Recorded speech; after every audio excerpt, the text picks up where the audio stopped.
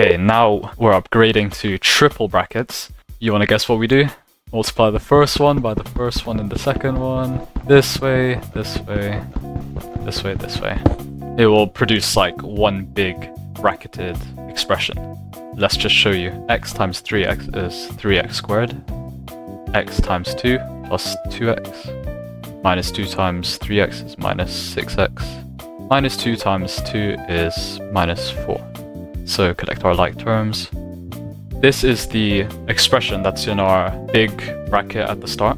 And then we can just like write it next to our bracket on the right.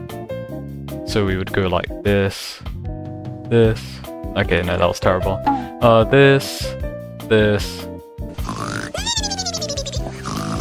And then we just collect our like terms. Yeah, that is one big expression.